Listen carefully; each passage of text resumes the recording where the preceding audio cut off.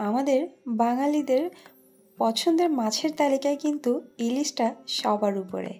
আর সেই ইলিশ মাছকে যদি খুবই সহজে আর খুব স্বাস্থ্যসম্মতভাবে আমরা তৈরি করি, তাহলে কিন্তু এটার স্বাদটা আরও দ্বিগুণ বেড়ে যায়।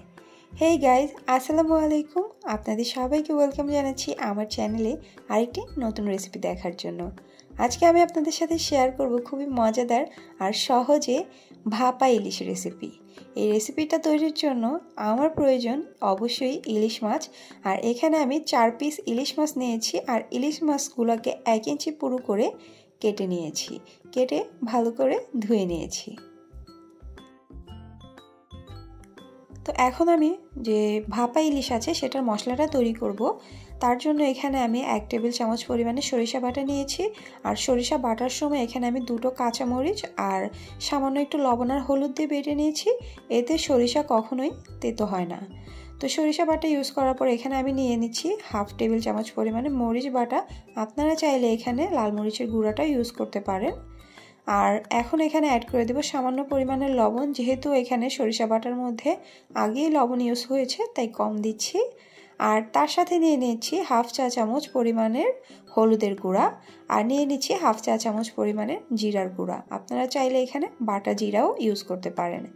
তো জাস্ট এই কয়েকটা সামান্য মশলা দিয়ে কিন্তু আমার ভাপা ইলিশটা তৈরি হয়ে যাবে। আর এখানে কোনো পেঁয়াজ ইউজ করার প্রয়োজন নেই। তো এখন এখানে আমি অ্যাড করে দিচ্ছি সরিষার তেল। আর এই ভাপা ইলিশটাকে অবশ্যই সরিষার তেলেই রান্না করতে হবে। আর এখানে আমি এক টেবিল চামচ পরিমাণে সরিষার তেল ইউজ করেছি। আর সরিষার তেলটা দেওয়ার পর এখন বাকি মশলাগুলোর সাথে সরিষার তেলটাকে হাতের সাহায্যে খুব ভালো করে মিক্স করে নিতে হবে। আর খুব সুন্দর করে মিক্স করে নিতে হবে যাতে সরিষার সাথে সরিষার যে তেল বা বাকি মশলাগুলো আছে খুব সুন্দর করে মিশে যায়। তো এখন এটাকে ভালো করে মিক্স করে নিয়ে এখানে আমি যে আগের থেকে কেটে রাখা ইলিশ মাছগুলো রেখেছিলাম, সেগুলো দিয়ে দেব। আর ইলিশ মাছগুলো দিয়েও এই মশলার সাথে মাছগুলোকে খুবই সুন্দর করে আলতোভাবে মাছটাকে মেখে নিতে হবে। আর এই সরিষা ইলিশ রান্নার জন্য অবশ্যই এরকম বড় বড় আর পুরো, ইলিশ মাছের প্রয়োজন। আর ইলিশ মাছের ডিম এখানে ইউজ করা যাবে না। অবশ্যই ডিম ছাড়া ইলিশ মাছ ইউজ করতে হবে। তো এখন আমি এই মাছগুলোর মধ্যে মশলাগুলোকে খুব সুন্দর করে আলতোভাবে ঘুরিয়ে ঘুরিয়ে মিশিয়ে নিচ্ছি। মিশিয়ে এটাকে আমি 10 থেকে পনেরো মিনিটের জন্য রেস্ট করতে দেব। আর আপনারা চাইলে এটা যখন তখনই রান্না করে নিতে পারেন। তো এখন এটাকে আমি জাস্ট পনেরো মিনিটের জন্য ম্যারিনেট করে রেখে দেবো। আর আমার আজকে সরিষা ইলিশের রেসিপিটা যদি আপনাদের ভালো লেগে থাকে, তাহলে অবশ্যই ফ্রেন্ডস অ্যান্ড ফ্যামিলির সাথে আমার ভিডিওটা শেয়ার করবেন। আর খুব বেশি ভালো লাগলে আমার চ্যানেলটাকে সাবস্ক্রাইব করে দেবেন। তো আমি এরকম একটি টিফিন বক্স নিয়েছি। টিফিন বক্সটাতেই আমি যে আমার ভাপা ইলিশটা আছে সেটা তৈরি করব। তো এখন এই টিফিন বক্সের মধ্যে আমি সামান্য একটু সরিষার তেল ব্রাশ করে দিচ্ছি।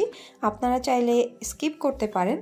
তো এখন আমি সরিষার তেলটা ব্রাশ করে দেওয়ার পরে এখানে আমি যে পনেরো মিনিট আগের থেকে ইলিশ মাছগুলোকে রেস্টে বা ম্যারিনেট করতে রেখেছিলাম, সেগুলোকে এখন আমি সুন্দর করে বিছিয়ে দিচ্ছি। তো প্রথমে আমি এখানে মাছগুলো দিয়েছি আর মাছ দেওয়ার আগে এখানে আমি তেল দিয়ে নিয়েছিলাম। তো এখন এখানে আমি মাছগুলো খুব ভালো করে বিছিয়ে দিয়ে উপরে যে মশলাগুলো আছে, সবগুলোকে আমি ভালো করে চারদিক থেকে ছড়িয়ে দিয়ে দেব। আর এই যে মশলাগুলো আছে, এগুলোকে খুব ভালো করে মাছের মাছের সাথে যেহেতু আমি মেখে নিয়েছি, তাই বাকি মশলাগুলো চারপাশ থেকে ভালো করে ছড়িয়ে দিলেই যথেষ্ট। তো আমি মাছের যে মশলাগুলো আছে, সেগুলো দিয়েছি আর প্লেটটা ধুয়ে সামান্য একটু পানি এখানে অ্যাড করে দিয়েছি। তো আমার যে সরিষা ইলিশটা, সেটা আমি বক্সে সেট করে দিয়েছি। দেখার সৌন্দর্যের জন্য আর কাঁচামরিচের একটা যে ফ্লেভার আছে, সেটা আসার জন্য এখানে আমি কিছু কাঁচামরিচকে চিড়ে এই মাছগুলোর উপরে ভালো করে বিছিয়ে দিচ্ছি। যারা ঝাল কম পছন্দ করেন, তারা এই পর্যায়ে এই কাঁচামরিচটা স্কিপ করতে পারেন। তো এখন রান্নাতে চলে যাই।